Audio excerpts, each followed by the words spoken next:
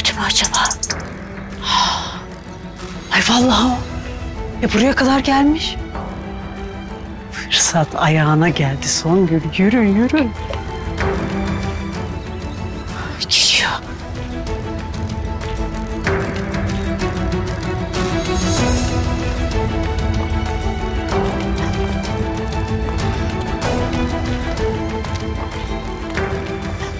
Cavidan Hanım.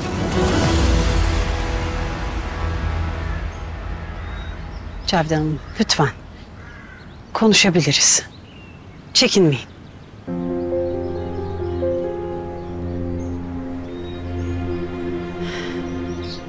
Biliyorum ikimiz için de zor bir durum.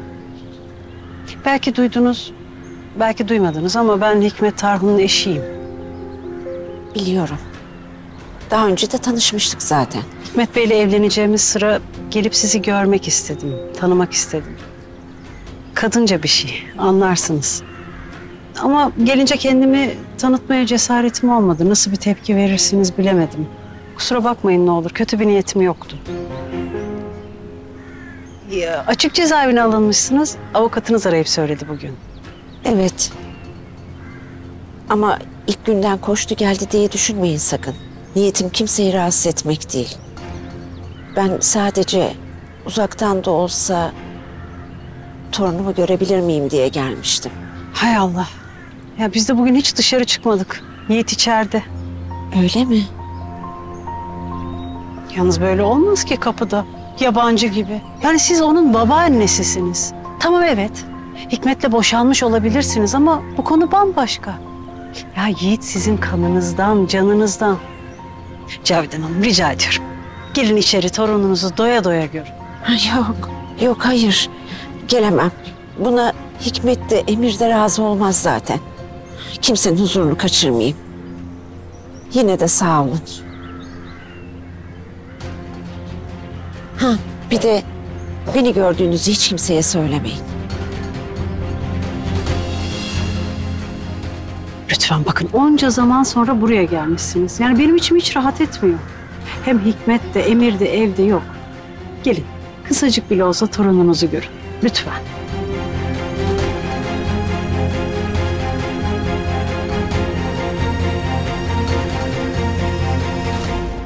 Israr ediyorum.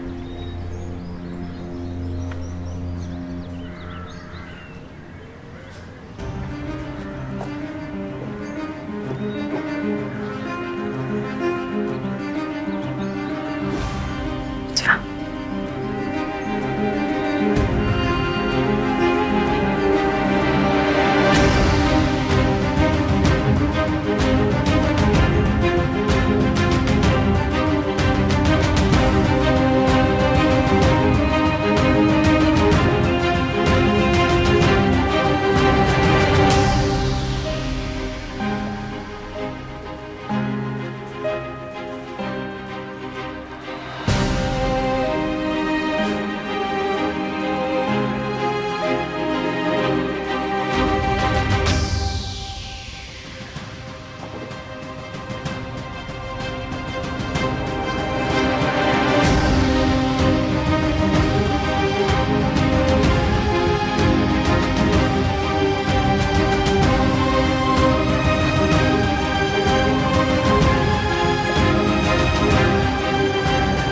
Melike.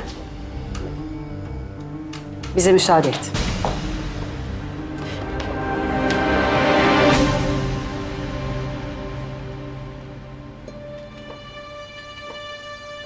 Cavidan Hanım. Cavidan Hanım torununu görüp hemen gidecek.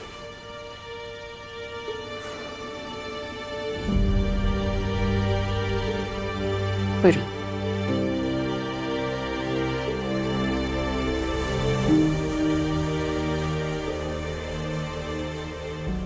Melike.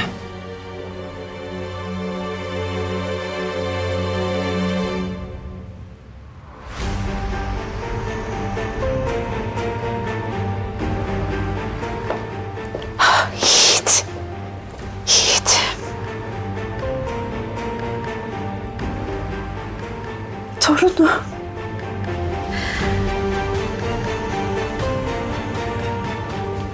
Hikmet Bey birazdan evde olur. Cavidan Hanım'ı burada görürse olacakları ben bile tahmin edemiyorum. Ben ne yaptığımı biliyorum. Aklını kendine sakla. Bakın Melike, işine dön. Hadi mutfağa.